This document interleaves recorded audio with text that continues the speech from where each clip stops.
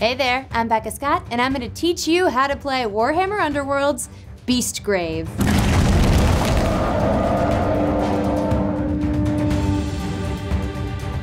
Warhammer Underworlds Beastgrave is a fast-paced game of savage combat in the heart of a hungering mountain, fought between war bands of fighters seeking treasure, or just trying to survive. It's pretty neat. To win a game of Warhammer Underworlds, you need to score more glory points than your opponent. You earn points by slaying enemy fighters and completing special objectives. You'll need to learn your warband's strengths, master their tactics, and build killer decks to secure victory. To play, all you need are a couple of game boards, some special dice, two decks of cards each, and of course your warband. You can find all of these in the Warhammer Underworlds Beastgrave core set. Oh, and you'll also need an opponent. In Warhammer Underworlds Beastgrave, you'll be able to choose from a range of warbands to battle for victory. We've got two to pick from in the core set the Savage Beastmen of Grashrak's Despoilers and the Vengeful Spirit Warriors of Skaeth's Wild Hunt. Each warband is made up of a handful of models. These are your fighters. The fighters in each warband are always the same, which just means that every Grashrak's Despoilers warband, for example, uses the same six miniatures. You'll find rules for your models on the fighter cards, which tell you the characteristics of that fighter, what attack actions they can take, and how they become inspired. More on that in a minute. Every warband has a leader, marked with the crown symbol next to their name on their fighter card. In Warhammer Underworlds Beastgrave, each player uses two special decks of cards as they play, a power deck and an objective deck. These decks are just as important as your warband. You'll be able to play straight out of the core set with pre-made decks of cards, which have everything you need to get started. Many Warhammer Underworlds players enjoy customizing their decks to make powerful combinations, combining the skill of deck building with high-level miniatures wargaming tactics. For our demo here though, we'll use the ones in the starter set. Just make sure to give them a shuffle first. How you win in Beastgrave depends on your objective deck. Made up of 12 unique objective cards, you can score glory by achieving conditions on each card. Some cards might ask you to hold an objective, while others might have you taking out enemy fighters or performing a number of specific actions. When you match the conditions on the card, you show the opponent the card you've just scored, take the glory shown at the bottom of the card, then put the objective card in the discard pile next to your deck. Remember, whoever has the most glory points at the end of the game wins, so build your objective deck carefully. Your other deck is comprised of power cards. Made up of 20 or more unique cards, this power deck allows you to change the conditions in the game as you go along.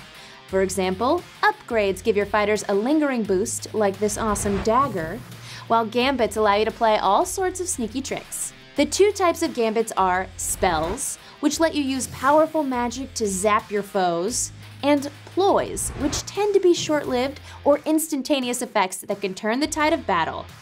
Gambits can be used for free at various points during the game, usually the power step, while you have to spend a glory point to use an upgrade. Don't worry, you still get that glory point when deciding which player has won at the end of the game. Up to half your power deck can be gambits, the rest must be upgrades. We recommend playing with the pre-built decks for your first few games. Once you're feeling confident with the rules, you can start swapping in different cards from the core set, warband expansions, and card packs, and even building killer decks from scratch. So, your warband is chosen, and your objective and power decks are built and shuffled. Grab your opponent, because you're ready to play. Throughout this video, I'll refer to some of the keywords in Warhammer Underworlds. Keywords are new to this edition of Warhammer Underworlds to make keeping track of rules even easier. Some keywords refer to specific rules like scything, which allows you to make an attack action against multiple adjacent enemies, or ensnare, which allows you to ignore enemy dodge rolls when they defend. Others, like Hunter and Quarry, are labels that have no inherent effect but change the way you interact with certain fighters, upgrades, and gambits. You can find more information about each keyword and what they mean in your rulebook. The game of Warhammer Underworlds is played in this sequence. I'll talk you through it. First, you set up. Then you go through three rounds, each of which has an action phase and an end phase. After the three rounds, you work out who's won. Let's go over each part in a little bit more detail. First up, we set up the game. In this phase, we'll place our game boards, feature tokens, and lethal hexes, draw our starting hands, and place our fighters. In this step, the players roll off. In a roll off, each player takes four attack or defense dice and rolls them. Whoever rolls more of these wins. If it's a tie, whoever rolls more of these wins. If it's still a tie, whoever rolls more of these wins. If it's then a tie, just roll the dice again until you get a winner. The player who wins decides which player picks a game board first. If you pick first, place a game board of your choice on the table with the side you want to use face up. Each board is double-sided and has a hex grid on each side. You'll find two of these in the core set. After the first board is placed, the other player picks their board and places it so the hex grids match up. They can place their board anywhere touching the first as long as at least three hexes are completed by connecting the boards from long edge to long edge, or if two hexes are completed by connecting them short edge to short edge. You cannot set a short edge against a long edge though. And just like that, we've got a battlefield. As you can imagine, there's some real strategy behind how you place your boards, and you can pick up additional boards from the Warhammer Underworlds range to provide even more variety and tactical depth. Which board you pick will often depend on your opponent and how you want to play. Do you want an open field to battle over, or loads of lethal and block hexes to hide behind? It's up to you. Speaking of which, let's go over special hexes. These are blocked hexes. You can't put anything in these hexes, and fighters can't see or move through them, unless a card tells you otherwise. This here is a lethal hex. If a fighter enters one of these hexes, they'll take one point of damage. These are starting hexes. These show where you can set up your fighters during setup. All these are edge hexes. This just means they're on the edge of the battlefield, which is important for some rules. Finally, we've got incomplete hexes. These are not part of the battlefield. Models can't move through them or interact with them in any way. Just imagine they're not there. With our battlefield set up, it's time to place the tokens. First, we shuffle the feature tokens numbered 1 to 5 and place them number side down. Starting with the player who placed a board first, we take it in turns to put one on the board. Feature tokens can be placed anywhere that isn't a starting, blocked, lethal, or edge hex, or within two hexes of another feature token. Once we've placed all five, we flip them over to reveal their numbered side. On this side, the feature tokens are called objectives, a key point on the battlefield that can be held for glory points if you have the appropriate objective card in hand. All you need to do to control an objective token is have one of your fighters stand on it. If it gets flipped over again by a gambit card or a fighter ability during the game, it turns into a lethal hex. After the feature tokens are placed, both players can place one additional lethal hex token, starting with the player who chose the first game board. You can put this in any empty hex other than a lethal hex, a starting hex, or a hex that contains a feature token. Next, we draw our starting hands. After shuffling the decks, we place them face down. Three cards are drawn from the objective deck, and five cards are drawn from the power deck. Make sure your opponent doesn't see these. You wouldn't want to give them a strategic advantage. Sometimes cards or effects will cause you to draw a card. To do this, just take the top card from the relevant deck. When you draw your starting hands, you can choose to discard one or both of them. After this, you can draw a new hand of cards for objectives, powers, or both. Be careful though, you won't get to use any cards you discard later in the game as they go into your discard pile. Once they're gone, they are gone. It's now time to deploy our fighters. At the beginning of this step, both players roll off as before, with the winner choosing who places a fighter first. Players then take it in turns to place a fighter from their warband onto the battlefield. Fighters can only be placed on starting hexes in their player's territory and can't be placed in a hex that already has a fighter in it. Once all the fighters have been placed, we're ready to start the battle. Before we go any further, let's remind ourselves of the game sequence. Every game of Warhammer Underworlds you play is broken into three rounds, each consisting of an action phase and an end phase. In the action phase, you'll take it in turns with your opponent to take four activations each. In the end phase, you'll score objectives, upgrade fighters, and discard and draw cards. The action phase is where you do battle. Fighters move into position or charge their foes. Heroic attacks are made, spells are slung, and players vie to score their objectives. In this phase, you've got four activations. You'll keep track of these with your activation tokens. At the start of each action phase, players roll off. In the first round, the player who finished setting up first gets to add a bonus critical success symbol to their roll. The winner then gets to choose who takes the first activation. After they've chosen, players take activations one after the other until each has taken four. After this, we move on to the end phase. But just how do activations work? When it's your turn to take an activation, you'll pick one of your fighters to make an action, or you'll make a player action. Fighters have four actions to choose from a move action, attack action, charge action, or a guard action. We'll look at each of these in order. Some fighters have different actions they can take, which will be on their fighter card or on an upgrade card you've given them.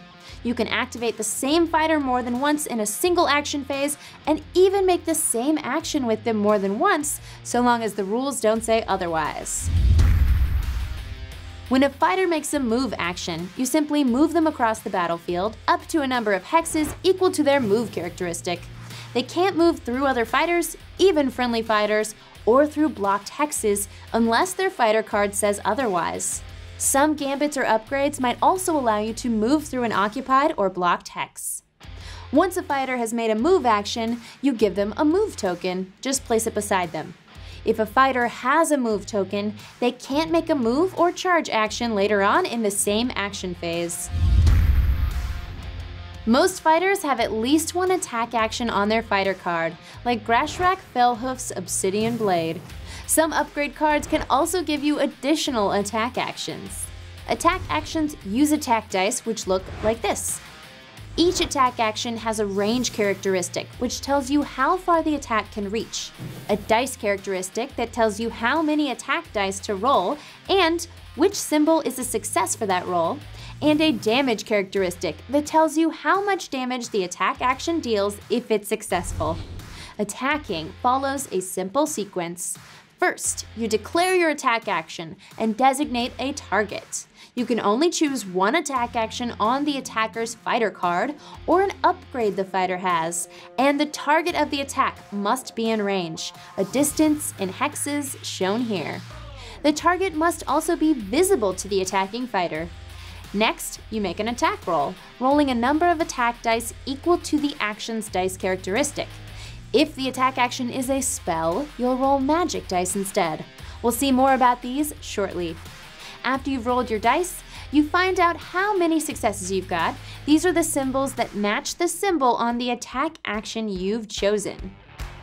This symbol is a critical success. These symbols can also be successes depending on supporting fighters. We'll look at how they work later on. However, your opponent then has a chance to defend themselves. To do this, they roll a number of dice equal to the target's defense characteristic and count the number of successes they get. That's how many symbols match the one on their defense characteristic. As before, this symbol is a critical success, and these symbols can be successes if there are any supporting fighters. With our attack roll and defense roll complete, we can determine if you've succeeded in the attack. If you've rolled more critical successes than your opponent, the attack action succeeds regardless of anything else that was rolled. If your opponent rolled more critical successes than you, the attack fails. If you've rolled the same number of critical successes, including if you both get zero, then you go on to compare your other successes. If you've rolled more successes than your opponent, the attack action succeeds. If you've rolled the same number of successes, or your opponent rolled more successes than you, the attack fails.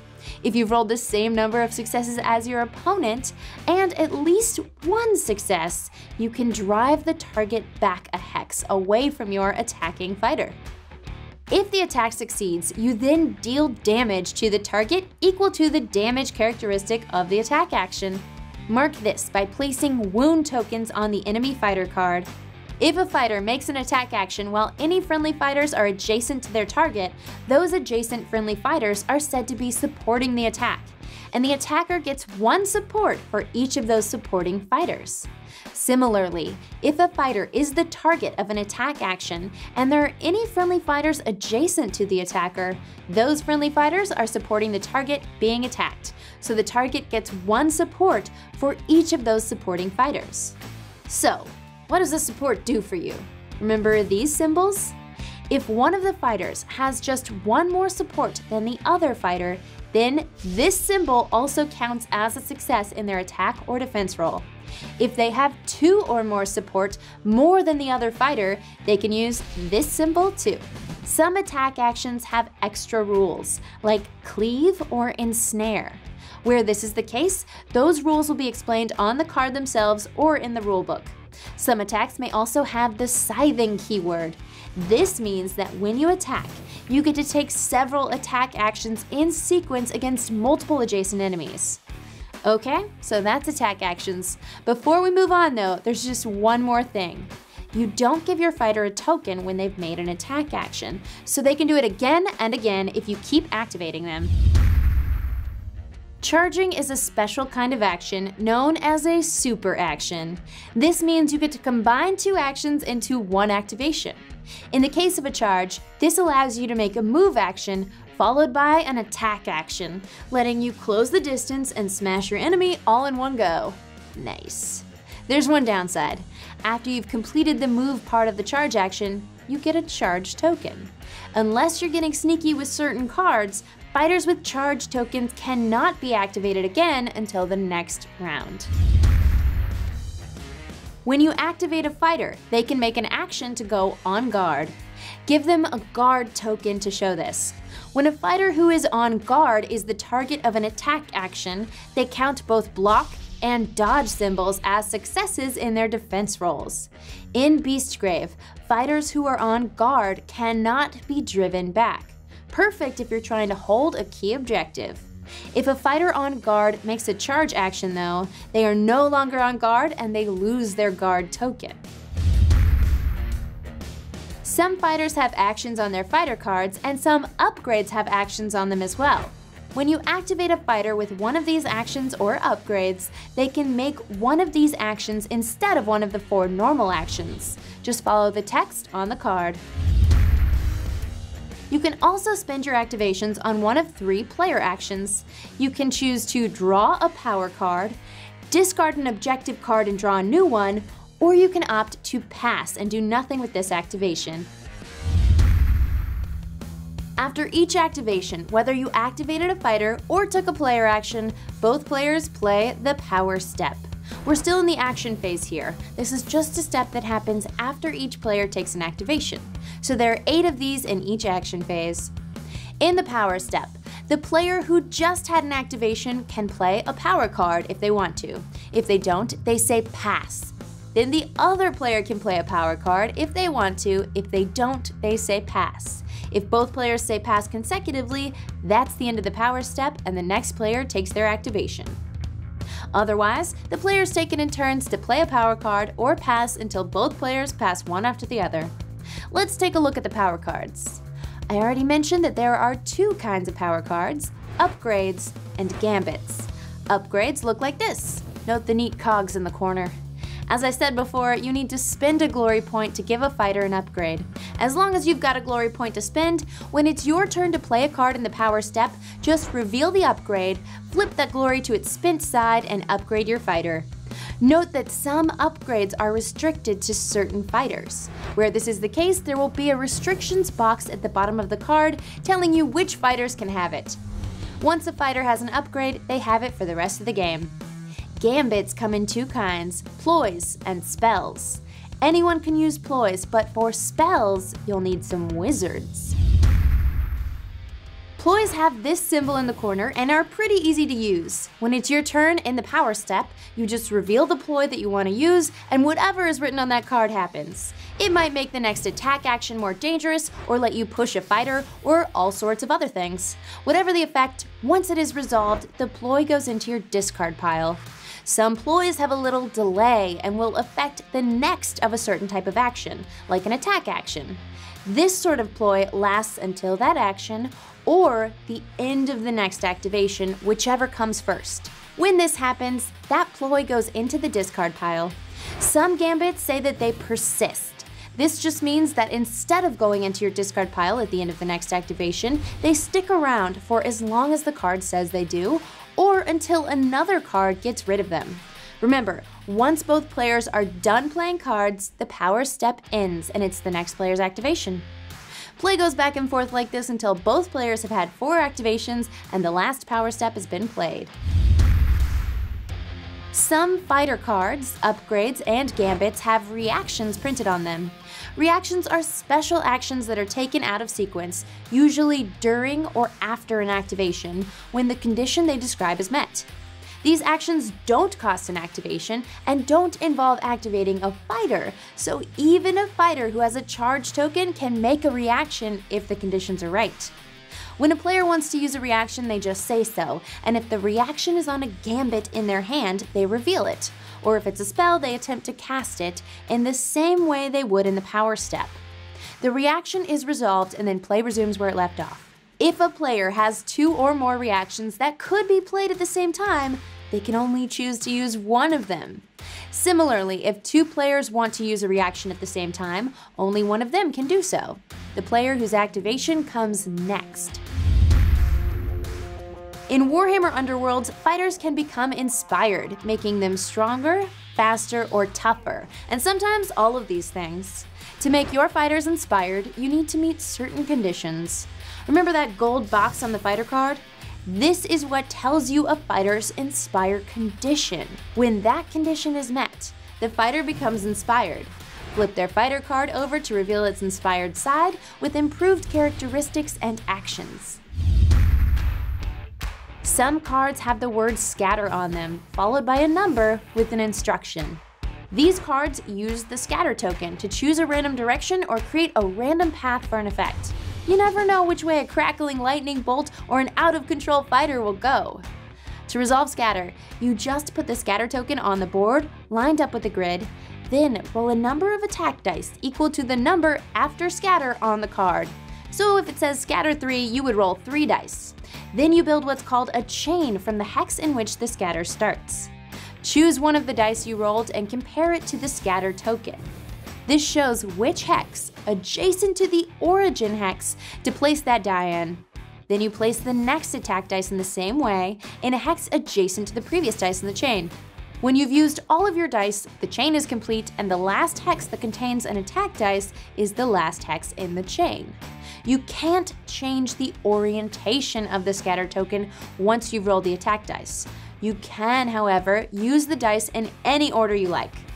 Once you've made the chain, the card you're using will tell you what to do with it. One last thing before we get to the end phase. Some of your fighters might be wizards, special fighters with access to special attack actions and gambits. If a fighter is a wizard, it'll have this symbol on its card next to a number. That's their wizard level.